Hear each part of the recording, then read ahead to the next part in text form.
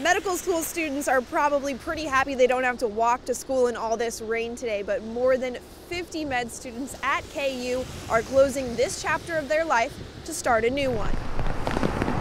As the threat of coronavirus continues to grow, medical students are eager to get out of the classroom. Seems like we should be helping, we have the knowledge to do something. Volunteers are doing more than something.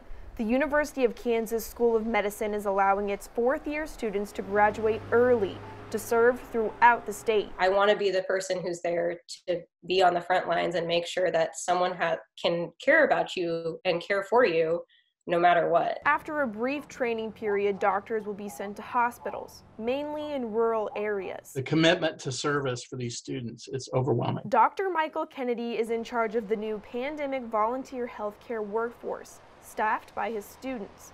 He asked for volunteers just yesterday. I really cried.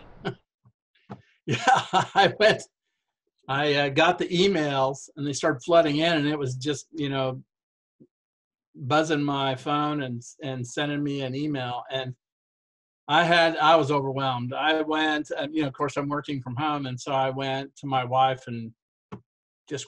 More than 50 students answered the call. We want to be the person who is there. Like there's got to be someone to catch you when things go wrong and that's the reason that I wanted to go to medical school. Molly says the choice to start her career just a few months early was easy. All of us just view this as our obligation, our job, our calling. Like this is the same to us as going to work because this is what we wanted to do. And while coronavirus couldn't have been in her original plans, she's taking it in stride. Medicine is never predictable.